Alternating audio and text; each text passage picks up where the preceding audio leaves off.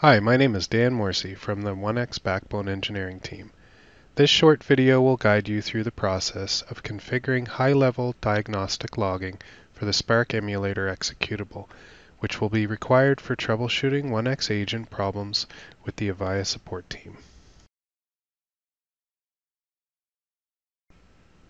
The Spark emulator is the voice processing engine for all voice over IP communications.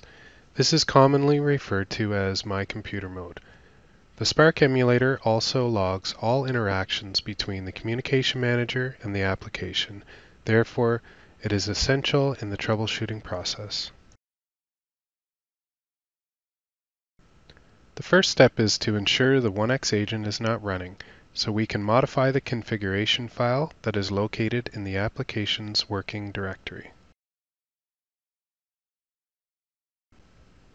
Increasing logging levels will impact CPU utilization, so it's recommended to only use this high-level debug logging as advised by your support engineer.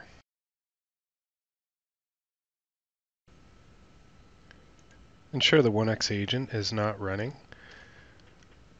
Navigate to the app data folder for the user by running percent appdata percent. Navigate to the 1X agent and make a copy of the config.xml file.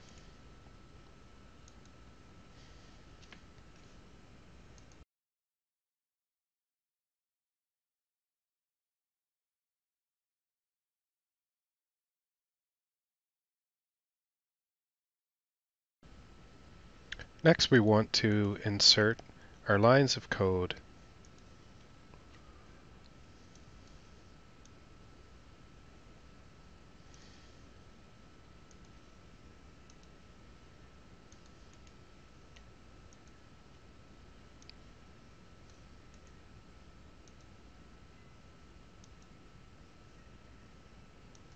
We want to make sure that we're going to continue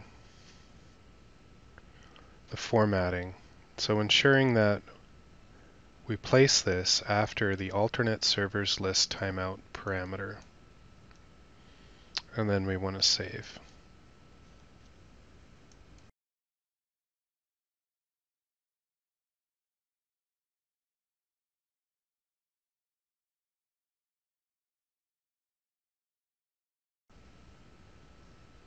To verify that we were successful increasing it to a high-level debug, simply start the 1X agent, go right back to your app data folder, and open the endpoint log.txt.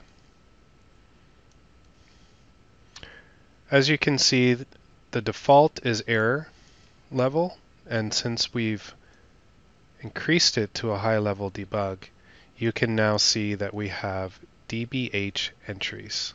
And this is confirmation that our high-level diagnostic logging was successfully enabled.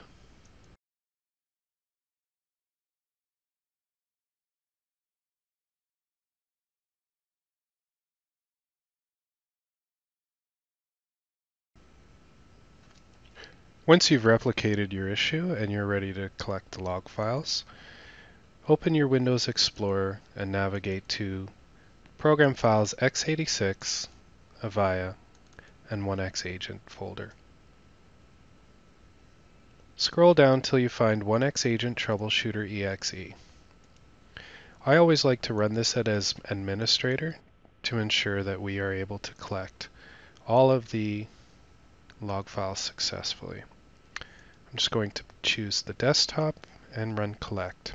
As you can see, it creates a zip file with all of the log files and this is ready to be attached to an email to send to your backbone engineer.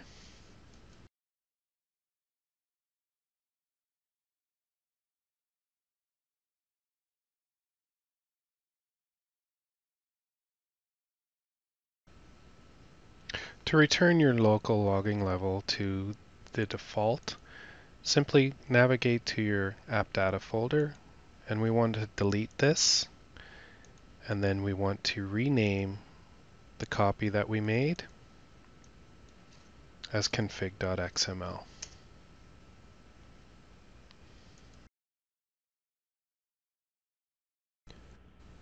Thank you for your time today. We welcome comments, questions, and feedback at mentor at avaya.com or on Twitter at Avaya Mentor. For more details or related information, please visit support.avaya.com. Thank you for choosing Avaya.